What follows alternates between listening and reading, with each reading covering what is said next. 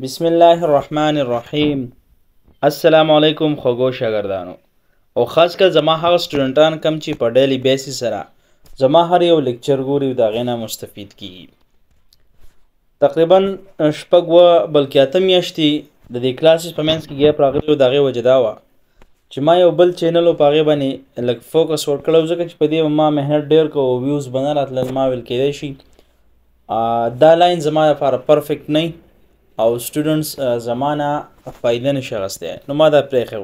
خو بیا د ځینې سټوډنټانو د بار بار اصرار نه او د بار بار کمنټس نه ما دا خبره ریلایز کړه چې زه تاسو لپاره انول چې دا کم کورس دی د نهم د کلاس د 8 چپټر ما یو دوه ټاپکس مخکې کړو او یو څو پاتې دی او بیا 9 نمبر چپټر پاتې دی او د میټرک کورس دی نو ما دا فیصله وکړه چې تاسو ته دا کورس ختم کما نن چې کوم ټاپک دی هغه زموږ سره دی میجرمنټ اف د ټمپریچر پښتو کې دا مطلب دی چې ټمپریچر به مونږه څنګه د هغې پیمایش به څنګه کوو دا به ناپ کوو څنګه نو که سیمپلی تاسو وګورئ نو موږ په خپل لاس سره یا سینس اپټت چې کوم دی د زموږ ټول وجود دی نو په دې باندې موږ ته دا پته لګي چې دا ابجیکټ یا دا سیز ګرم دی که دا یخ دی مثال به زه تاسو ته دا درکړم فرض که د چی پتیله په اور پرته ده او ته ورشې د هغې چې کوم سر د هغې له لاس وروړی نو ستا لاس سوځي ته د هغې نه یو دم لاس راچوت کړې نو تا ته پته ولګي چې په دې ټیم کې دا پتیله چې کوم ده دا سره شوې ده ګرمه ده یا نن سبا د جمعې ورځې دي او لا اوس خو موسم ښه دی خو د دې نه وروسته چې کله جمع ډېر شي ستا سټ له څوک یخ لاس درولي نو سړی دا سټ داسې را په ځان پسې رانږدې کړي ځکه هغه ته دا احساس وشي چې لاس یخ دی هغه ته د هغه چې دا کم سکن دی نو هغه ته دا سنسیشن وشي دا محسوس کړي چې دا لاس یخ دی نو اوس زمونږ دا سینس اپ ټچ که هغه زمونږ لاس دی یا که ټول وجود دی دا صرف مونږ ته کولډنس ښي یا هارډنس ښي دی هارډنس ښي دی یو ابجیکټ دا مونږ ته دا نه وایي هغه رینج مونږ ته نه ښي چې دا څومره یخ دی څومره ګرم دی یا راته دا نه ښي اګزیکټلی ویلیو مونږ ته نه ښي کوم چې موږ د ترمامیټر خیو چې اوس دومره د یو ابجیکټ ټمپریچر دومره دی سیوا دی کم دی دا موږ ته نه خیو نو اولنې پوینټ دا دی چې وی کین میجر ټمپریچر سمپلی بای سینس اف ټچ لکه ما دلته ورکړي دي هینډز سمپلی موږ څه کولی شو په خپل سینس اف ټچ زموږ فایو سینسز دي نو په هغې کې یو دی سینس اف ټچ د دې په ذریعه باندې موږ ټمپریچر چې کوم دی دا میجر کولی شو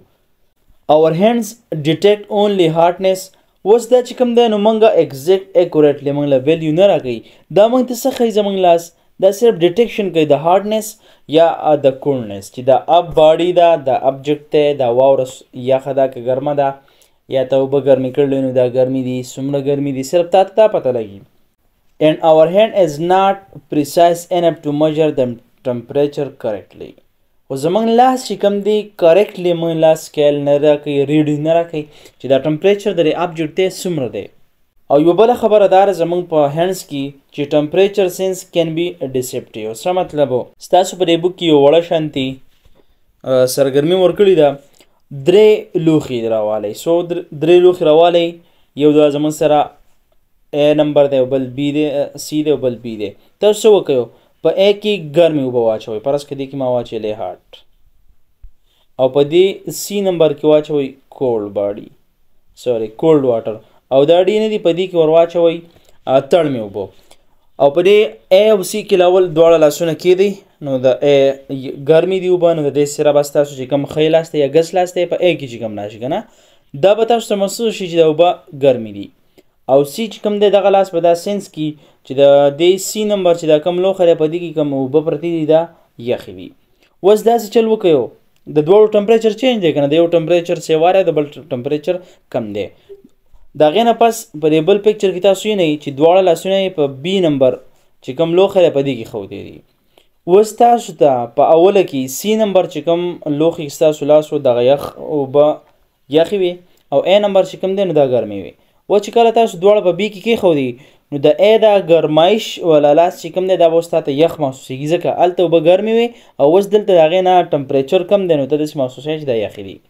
او سی نمبر کې زموږ سره اوبه یخې وي خو د هغې نه د بي نمبر والا لوښي چې کومې اوبه دي دا تړمې دي د دې ټمپریچر لږ سیوا دی نو دا به اوس تا ته څه کېږي دا به تا ته ګرمې محسوسېږي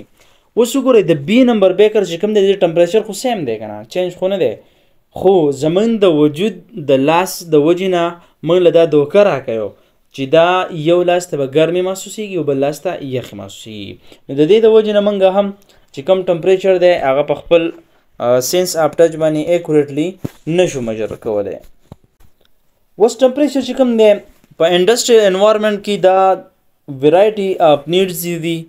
او ډیر اپلیکیشنز دي که تاسو وګورئ زموږ سره مختلف لوښي جوړیږي د هغې دپاره چې کوم هغه شیپ کوي یا څه کوي نو د هغې دپاره د سپیسیفیک ټمپریچر ضرورت وي نو په دې کې د څه ضرورت دی د میجرمنټ اف د ټمپریچر ضرورت دی د دې پرابلم د ورکم کولو لپاره چې کوم زموږ سره ساينسدانان دي یا انوینټرز دي هغې یو ډیوایس انویټ کو چې هغه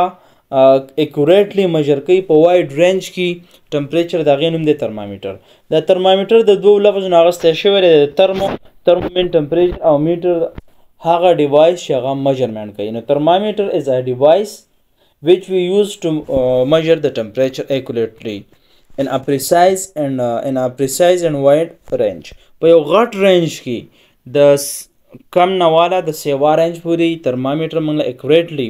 ټمپریچر د یو ابجیکټ چې کوم دی هغه مجر کوي اوس چې کوم دی زموږ سره د ترمامیټر او ورسره چې کوم د ټمپریچر د میجرمنټ په لحاظ سره د فزکس یو برانچ دی چې د هغې نوم دی ترمومیټري ترمومیټري هغه برانچ دی د برانچ اف فزکس ویچ ډیل ویت د سټډي اف میجرمنټ اف د ټمپریچر از کال ترمومیټري دا ترمومیټر د دوو ټکو نه جوړ شوی دی چې یو سره ترم دی ترم وایي ټمپریچر ته او میټر وایي میجرمنټ ته 8.3.1 کې یو بل ټاپک دی ترمومیټریک پراپرټي ترمومیټریک پراپرټي څه مطلب و د دې نه مخکې به تاسو الکتریکل پراپرټیز د سبسټنس ویلي یا د میټر ویلي میګنیټیک به ویلي مختلف میکانیکل پراپرټیز به ویلي زه به تاسو له اگزامپل درکم د الکتریکل پراپرټي پرس کې کاپر دی د کاپر الکتریکل پراپرټی دا را چې دا ایزیلی الکتران چې کوم دی دا کنډکټ کوي نو دا موږ از وایر استعمالو چې په هغه کې موږ چې کوم الکتریسټي دا هغه د یو ځای نه بل ځای ته ترانسمیټ کوو یا پرس کا بل زه تاسو له اگزامپل درکم ربړ دی یا بل چیز دی چې هغه انسولیټر دی د هغې نه یا پلاستیک دی د هغه انسولیټر دی د هغې نه زموږ سره کرنټ نه پاس کیږي نو چې کوم پلاستیک دی بیا موږ ایز انسولیټر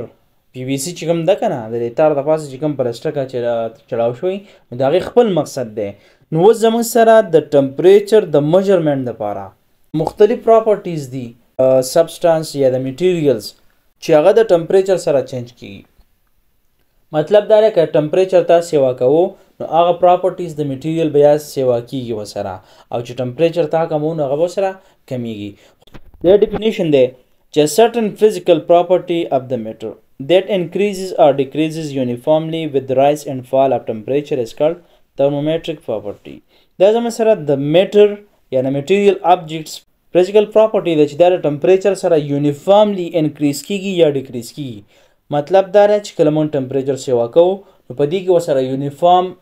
انکریز راځي مطلب دا نه چې یو دم لاړ شو یو دم سیوا شي یا یو دم کم شي دوه ډیګري وسره ټمپریچر سیوا کو کنه نو دا وسره دوه یا درې ډیګري سیوا شي را روان دوه ډیګري سیوا شو نو ورسره به را روان پاره کې دوه درې ډیګري چینج راځي داسې یونیفارملی به سیوا کېږي یونیفارملی به ورسره کمیږي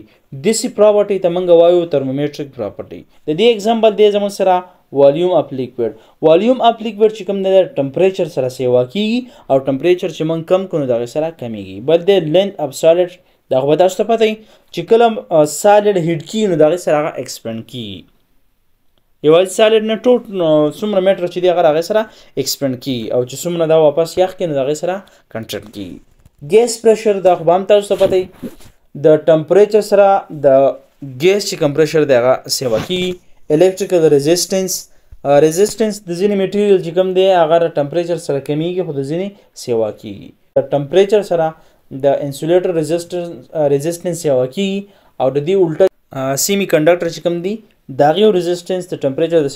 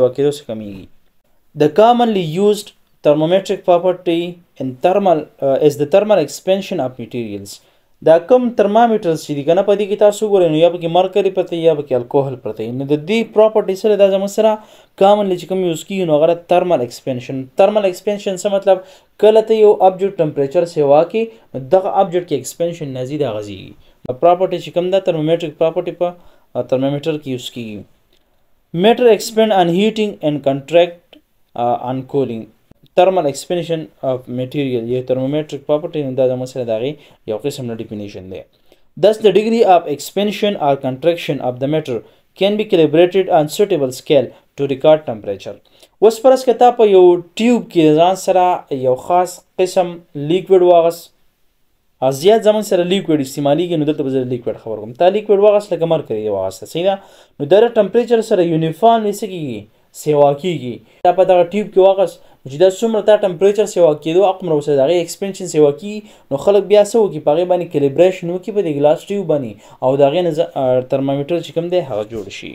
A particular liquid was filled in a scaled glass tube to make a thermometer. ترمامیټر څنګه جوړیږي؟ زموږ سره یو ګلاس ټیوب وي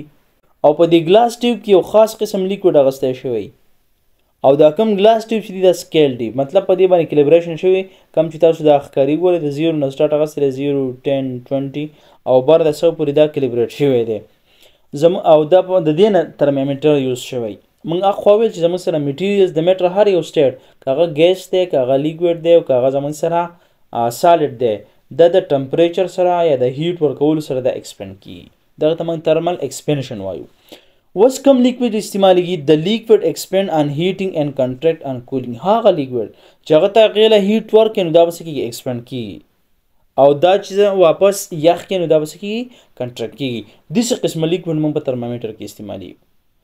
او دا زمونږ سره دوه قسمه کېدای شي چې یو ته مونږ دوه کې د دې مونږ دوه اګزامپل وایو چې یو مرکري ده او یو الکوهل دی اوس دا الکوهل او مرکري ولې یوز کېږي واټر ولې نه دی یوز شوي یا بل یو قسم نه لیکوډ ولې نه دی یوز شوی په دې کې دوه خاصیتونه دي اولنی خاصیت دا دی چې اټ ډز ناټ سټیک ان سایډ ټو د ټیوب وال که برس که ستا ټمپریچر سیوا شو او دا مرکري داسې بره لاړه نو دا څه چل کېږي دا دننه چې دا کم وال دی په دې پسې نښلي نو اوس که دا ورختل الته به زمون سره د مرکري کوانټټي کم شي کنه نو موږ ته به ایگزیکټ ویلیو رانه کی او یا الکوهل دی یو پکې دا خبره ده بره پکې دا خبره ده چې د سرفیس اف دیز لیکویډز کین بی سین ایزیلی ټو ریډ د ریډینګ اوس که تاسو په دې ځای کې وګورئ دلته دام د دې سرفیس دی د دې سرفیس دی یا دا وګورئ د ردې سرفیس ته د مرکري د سلوري ټایپ لسټر ورکی د چمک ورکی نو دا غین موږ په اسانه دا ویزیبل دي نو چې په کوم ځای باندې په اخر کې د دې سرفیس اخرنۍ سری نو ال دا مخامخ چې کوم کلیبریشن شوی نو دا غین موږ ریډینګ راستې شو یا الکوهل چې کوم دی نو د الکوهل رنگ سوري د سور رنگ نه په اسانه دا موږ تخکاری چې دا ریډینګ څنګه دی